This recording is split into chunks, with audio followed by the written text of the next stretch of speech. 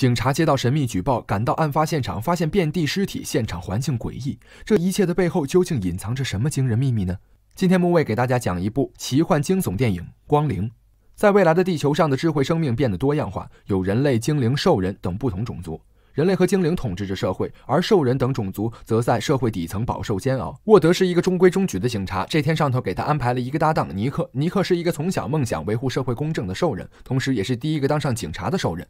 因为种族原因，沃德对这个搭档很是不满。在警局里，尼克也被大家各种排挤。即使这样，他还是坚持着自己的梦想。这天，一个兽人族杀手说尼克是叛徒，要杀死他。危急关头，沃德下意识帮他挡了一枪。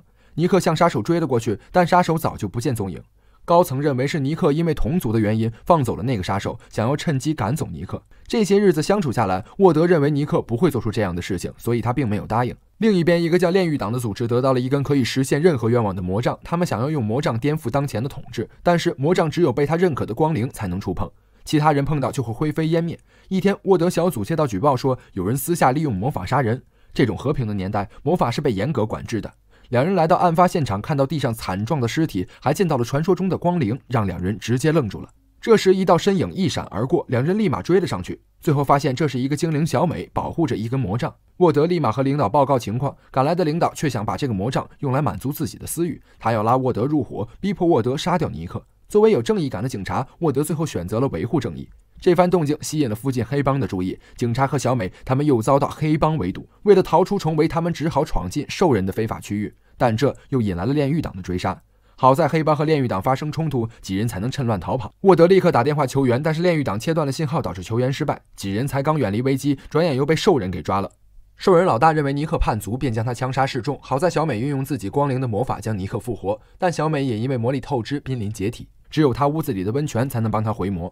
众人回到小屋，哪知炼狱党早就在此埋伏，双方展开了激烈的战斗。好在三人团结，最终打败了炼狱党。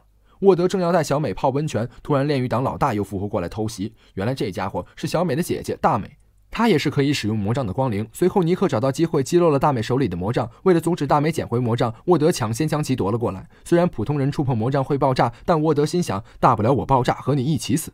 结果奇迹发生了，魔杖也认可沃德是光灵。千钧一发之际，小美教了沃德一个魔法，沃德利用魔杖施展魔法，终于把大美彻底杀死。故事最后，尼克得到了族人的认可，两人也因为帮政府回收魔杖得到了嘉奖。那么今天的节目就到这里了，木卫说电影每天陪伴你，我是木卫，咱们下期再见。